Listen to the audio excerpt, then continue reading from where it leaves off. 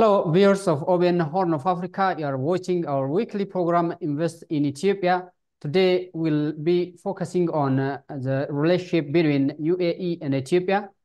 Uh, I joined by Ambassador of Ethiopia to UAE, Ambassador Oumer Hussein. Ambassador, warm welcome to our program. Thank you, brother. Nice to meet you. First, would you tell us uh, the historical relationship between United Arab Emirates and Ethiopia? Thanks so much. Actually, the historical relationship go, you know, more than 40, 50 years, but uh, the formal relationship started like uh, 2004, where, you know, the consulate would be established in, was established in uh, Dubai. But before that, there was a for, informal exchange of information and letters between, you know, back to the regime of Haile Selassie, and the public relationship will be there between the two countries, but the formal will be, uh, you know, undertaken around 2004.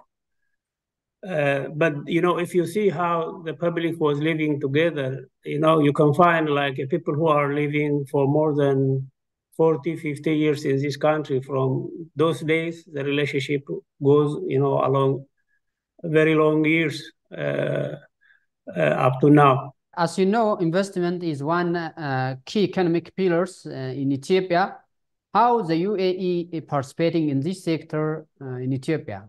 Uh, I think among the other relationship, you know, the public relationship and other political relationship, the investment engagement is very huge. And uh, currently we have around 100 more than 121 companies in Ethiopia from UAE side who are investing in Ethiopia. And if you see in terms of capital, uh, Emirate investment in Ethiopia reached more than 2.8 billion dollar, which is very huge in number. And this keeps growing from year to year. Uh, if you see the non-traded oil uh, goods, uh, it reaches around 1.4 uh, billion dollar. Mainly, the investment area is focused in the chemical, food and the beverage, uh, pharmaceutical, and the other sector. Uh, currently, they are also focusing on agriculture. If you see the other way, the major exports of Ethiopian items, it is, you know, currently the meat export, coffee export, gold exports are among the other, which has, you know, still very big number. So uh, we can see the trend is growing from time to time. Given that the strong relationship the two countries have, you know, the investment is among the other, which you, which we can say uh, gradually growing very fast. Uh, mainly when we, we see from the investment that we are receiving from investors that we are receiving from the UAE side. Ethiopia has huge investment potential. Uh, what is the Ethiopian embassy uh, doing in promoting this potential to UAE investors to help them invest in Ethiopia? Yeah, actually, uh, one of an area of focus is, you know, doing business in the other country. Uh, as far as that's concerned, the Ethiopian embassy here in Abu Dhabi is working together with the consulate, actually working on the area. First, in you know, showing to the investors who are abroad uh, what are the real opportunities that exist in Ethiopia. So in that regard, we try to uh, show them the investment opportunity in agriculture sector, uh, and also in the pharmaceutical sector and you know manufacturing. We always do this minimum uh, you know three months you know one after the other. Because uh, here in UAE you can't you are not finding only the UAE resident investors. You can find investors who are coming from other parts of the globe. So we always try to update them who are in the pipeline as well as who are newly entering the market. Uh, this is the first thing that we do. The second thing is, you know, there are investors who are already uh, in investment in Ethiopia, but whenever they face a challenge on their activity, we have a platform with the Investment Commission in Ethiopia. So using that platform, we will, you know, bring to the attention of the leaders or the sector. That way we are solving the challenge that they have. So uh, we have we are also running investment forum parallelly. You know, the investment forum is a platform in which we we see, you know, the version of the investors, what challenge they have, what policy requests they have, and then we will pass that request to the center or to the government of Ethiopia so that you know the pol- um, policy formulation those issues will be considered. Uh, considered. That way, we are trying to you know uh, facilitating mainly between you know Ethiopia, you know promoting the version all version that we have in investment. Uh, and uh, facilitating for the uh, foreign direct investment that coming to Ethiopia. As you know, uh, UAE uh, become um, active partners of Ethiopia since the reform. How do you describe this uh, relationship uh, currently, the relationship between Ethiopia and UAE? Actually, the relationship between Ethiopia and the UAE is very strong this time. Uh, actually, for me, that strength comes from, you know, the relationship the two leaders has they are very close and uh, act friendly, apart from you know the country to country relationship. So that strength uh, of the two leaders can be you know influencing the other uh, part of our duty, which is you know investment, which I already mentioned, and other public relationship also. Many you know uh, investors from UAE side and the public for visit, apart from investment for tourism, they wanted to Ethiopia. Given that the nice weather that we have, uh, even though we have some challenges, still, you know, there is a lot of people traveling from here to Ethiopia uh, because of the tourism as well. So I, I believe, uh, given you know the relationship which we have uh, as country to country public to public. This may, you know, go more than what we really expect and uh, can enrich the level of the development in both economy, political, and the social. So the business which we, mentioned earlier could be also, you know, uh, because of the relationship, the strong relationship that the two countries have.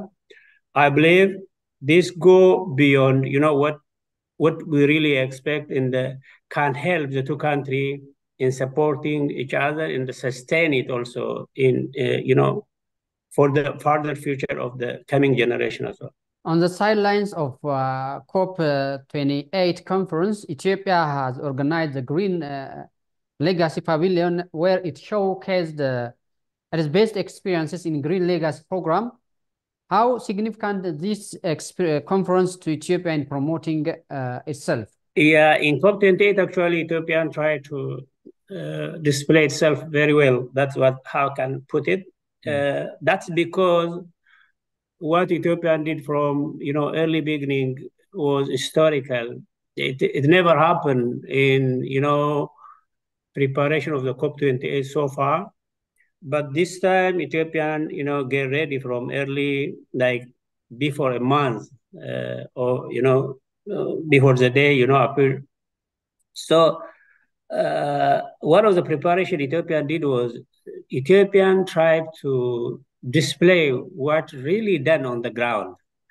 That makes Ethiopian different from the other, because you know when we see most of the pavilion uh, they they they try to tell what to be done.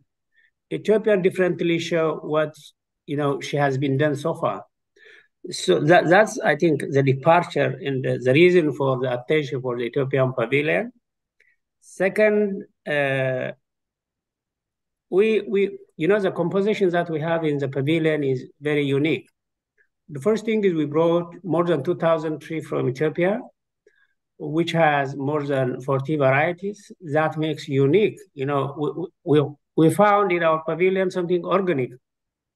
So that that that makes you know the pavilion very attractive. The second thing is our green gold. You know, which is our coffee, will be the center of the the pavilion. You know, you go around, you take a look on all thematic area that's presented, and finally, people will take rest and have Ethiopian coffee, that which is very tasty. And sometimes the people come not only to see uh, what's going on in the pavilion, to drink Ethiopian coffee as well. That was the center of the hub.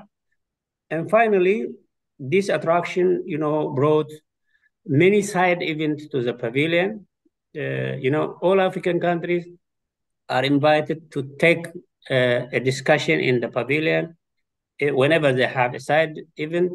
IGAD was running their, their program there. Leaders visit, uh, starting from His Highness. Uh, the everyone was coming. The ministers were coming. Ambassadors. Many people came to the pavilion. So it was a real show, I can say, uh, which, you know, Ethiopian present to African, to the world as well. So it was a special occasion for Ethiopia to present itself and to display what really going on in Ethiopia as, you know, economic development is concerned. As you have mentioned, many participants have uh, visited the pavilion. And what was their uh, feedback? Yeah, most of the feedback was very, very positive and uh, they really, some of them, they don't know the real version of Ethiopia. You know, people try to mention us in terms of only the problems that we have internally. So when they see what's going on in all thematic area, in energy, in environmental, you know, uh, afforestation, in you know, forest development, in green legacy, in you know wheat project in agriculture you know. The people were amazed in that they never know that version. Those who know ethiopian version before they get more you know idea about what's going on and the status of the issues.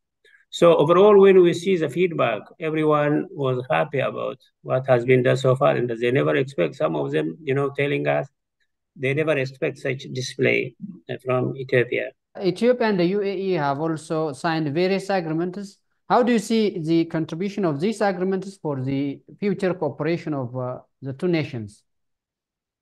That's already was defined. You know, it's a framework. You know, whenever there is uh, such kind of agreement, which is sector based, it's very helpful for the sectors to act accordingly in tourism, development, and many other areas so I, I believe it takes maybe one, two steps forward the current relationship that Ethiopian has with UAE because given those agreements, some of the issues already are in pipeline and some of the issues are, you know, started very soon.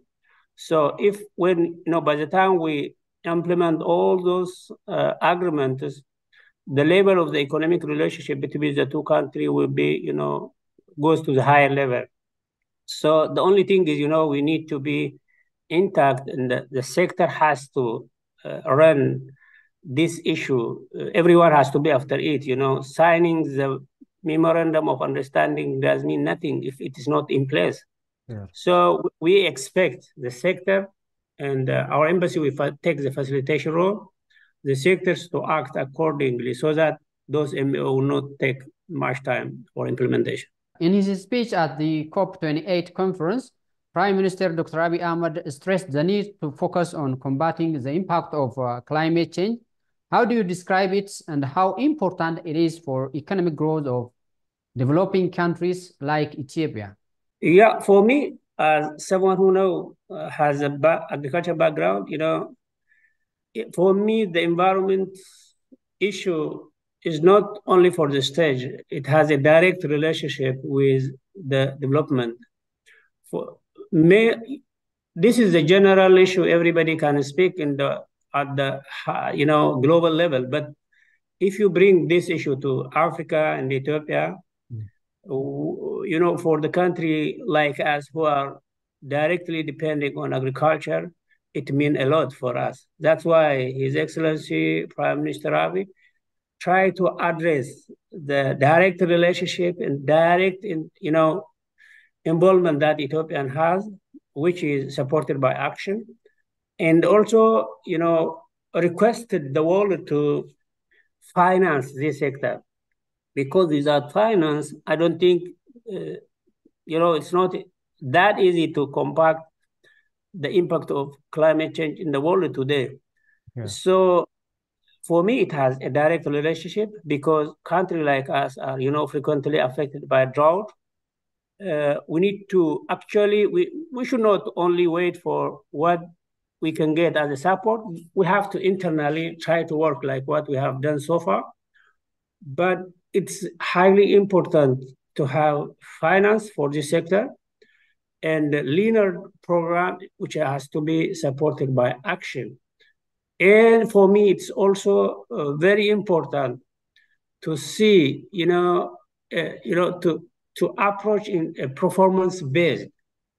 For the country who are doing good, there must be additional more support so that others others will be also following that uh, pathway, and that country also, you know, encourage.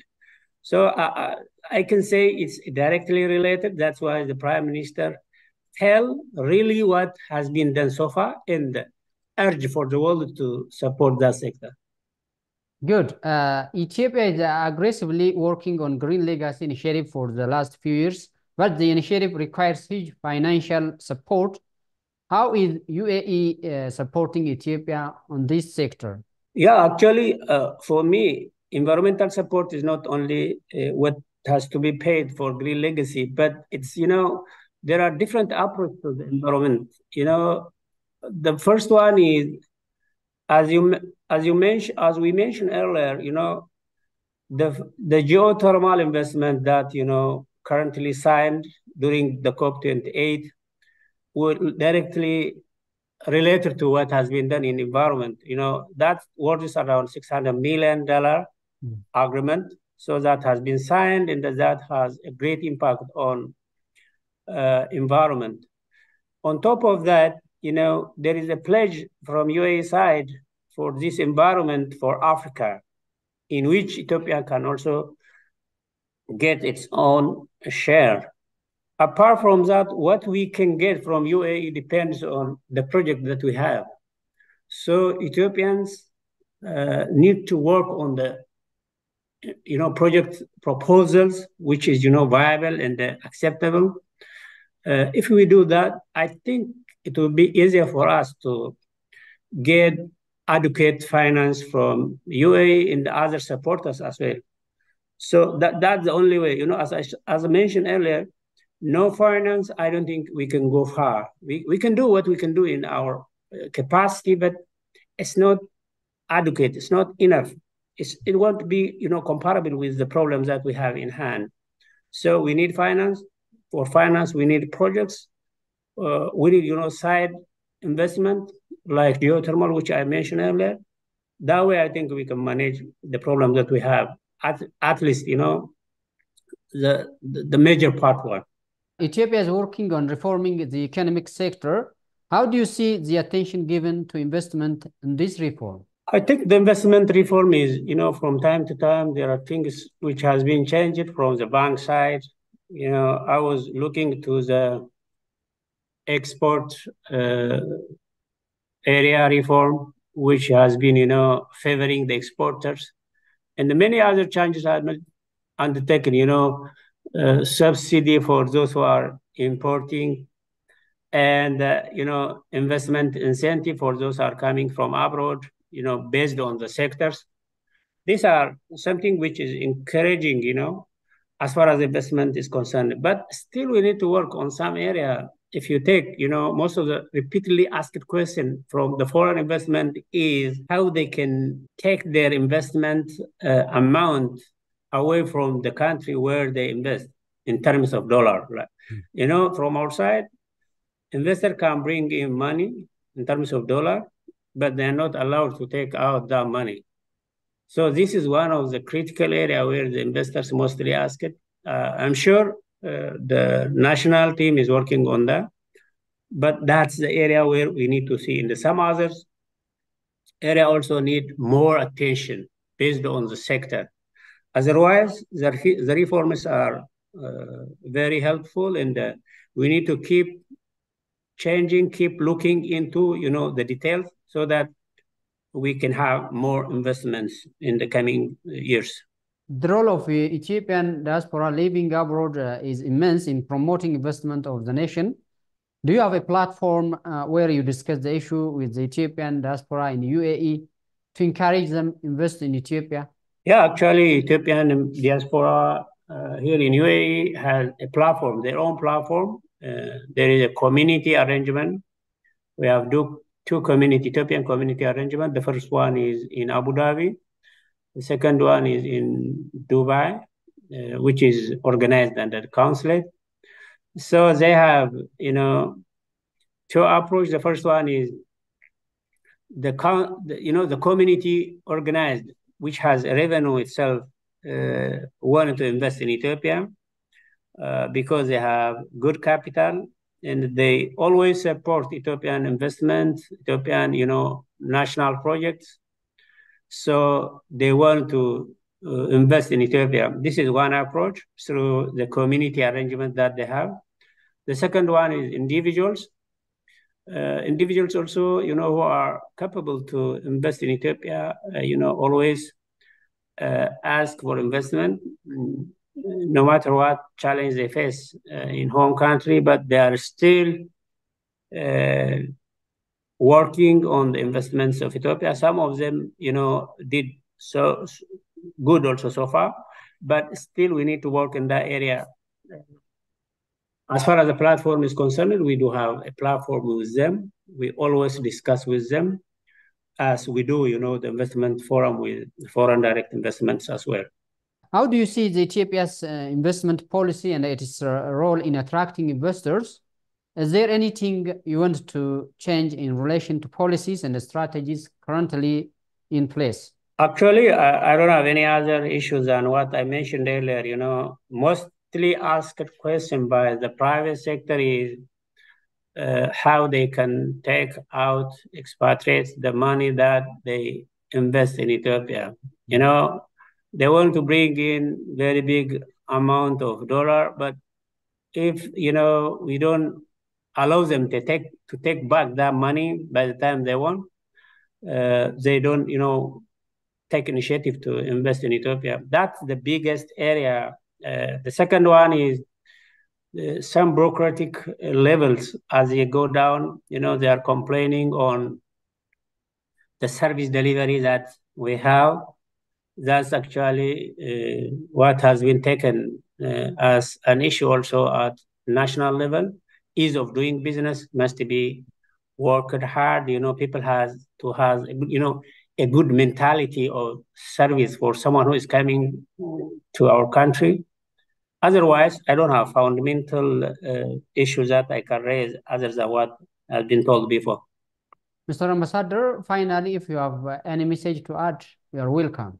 I don't have much to add, but you know, it's good to repeatedly have such conversation with even media like you and tell what really the investors need from our side, what the country need, where we are aside, and uh, uh, we need to, you know, keep promoting with using our the platform that we have, keep giving awareness to the community and uh, as well as investors who are looking for Ethiopia. Otherwise, we need to also push the young people who are abroad to get organized, if not individually, to get organized and invest in their country because finally everyone back to home. You know, to get back to home, we need to work from today. So that's maybe the final message I have. Otherwise, I wanted to really say thank you for uh, inviting me to this platform and uh, give such a short brief on the on the current situation of the two countries. Uh, Ambassador of Ethiopia to UAE, Ambassador Oumer thank you for your time and your deep insight on our program. Thank you so much. Thank you. Okay. Dear viewers, that is all what we have for this edition. Till the next program, have a good time.